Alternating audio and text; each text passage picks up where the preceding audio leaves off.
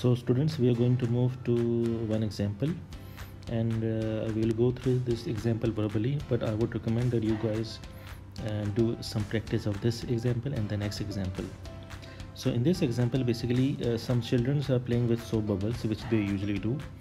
So it is uh, sometimes becomes a point of curiosity as to the relationship between soap bubble radius and the pressure inside so they want to know uh, the relationship of uh, basically soap bubble radius and pressure. So uh, you reason that the pressure inside the soap bubble must be greater than the atmospheric pressure otherwise that is why it is can survive. And the shell of the soap bubble is under tension so there is some surface tension uh, on the shell of the uh, bubble okay you also know that the property surface tension is basically very important in this problem. Not knowing any other physics you decide to approach this problem using dimensional analysis. Establish a relationship between pressure difference. So they are saying that we need to uh, create a relationship between pressure difference. So this is parameter number one. Then the soap bubble radius is parameter number two. And then we have surface tension which is parameter number three so what we need to see is that uh, which one is the dependent which one is independent. So we see that the pressure difference is dependent on the radius and the surface tension. So that is why we take delta p is basically a function of radius and surface tension.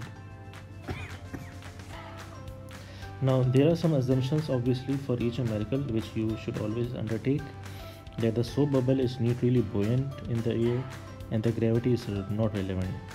So uh, this is something that they have uh, assumed. No other variables or constant are important in this problem. This is something uh, it's not necessary for you to assume because you never know whether you need to take some constants or not.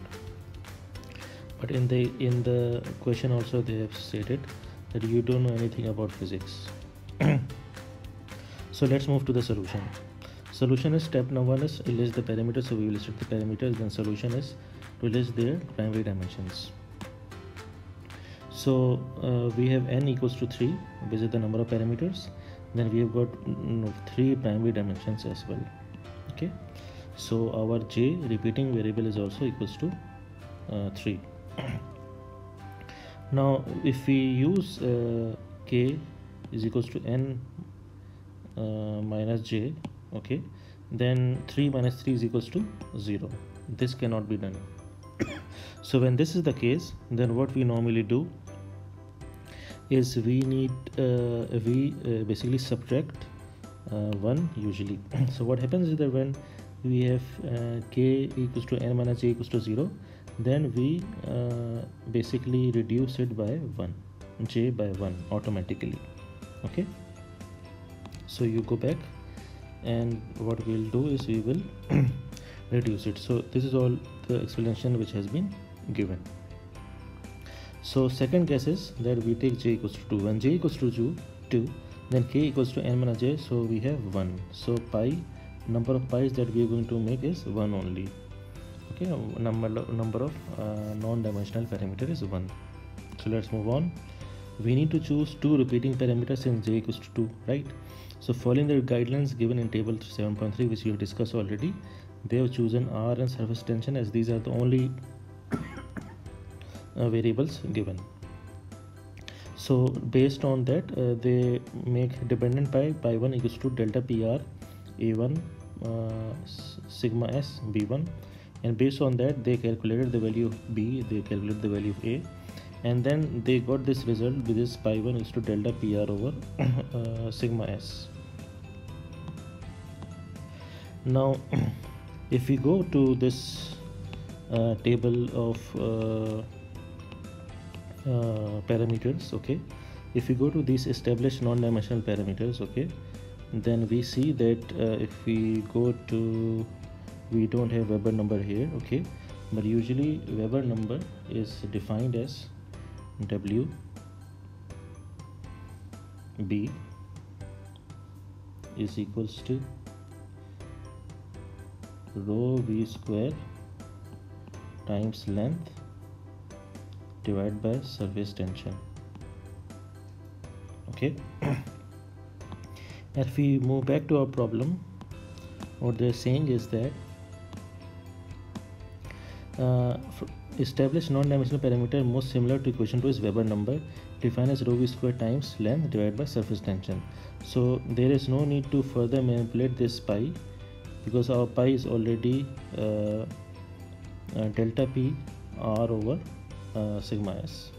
So we write the final functional relationship in case at hand there is only one pi which is a function of nothing. So since when you always remember when you have one pi then it is a function of nothing it means that that pi is equals to constant. So our pi is constant. It means that delta pr over sigma s is equals to constant. So what we get is that delta p is related to sigma s over sigma r. And this you can also observe uh, through uh, without much knowing of physics you can observe that we know from our result that if the radius of the soap bubble doubles then the pressure difference decreases by a factor of 2 and similarly if the value surface tension doubles then uh, our uh, p increases by a factor of 2 so this was a very simple uh, uh, example in which basically the example was that uh, when n uh, is equals to j then what happens? Then we need to do secondary assumptions. That is very important. So some students might be confused that how come pressure uh, equals to rho v square? This comes from the Bernoulli equation. Since pressure is equals to rho gh right?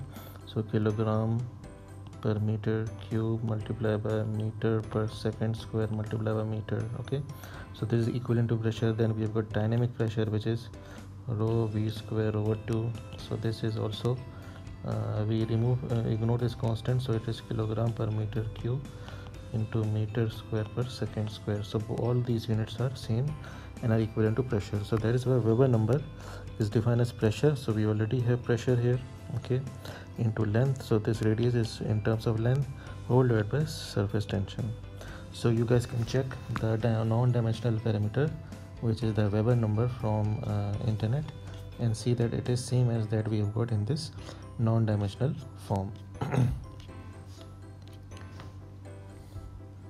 So I can write here for you Weber number W.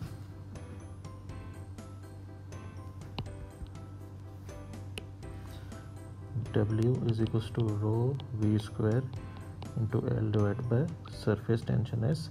This is basically in a, the ratio of inertial force divided by surface tension force Weber number and this is something quite similar that we have obtained for our non-dimensional parameter. So students there is another example example 7.9 uh, I think that this example is something which is similar to pipe flow problem something related to Darcy uh, friction factor and other friction factor so you guys can go through this as a self study for you guys. I will just go through it briefly that you've got uh, different parameters velocity diameter density uh, viscosity uh, relative roughness and shear.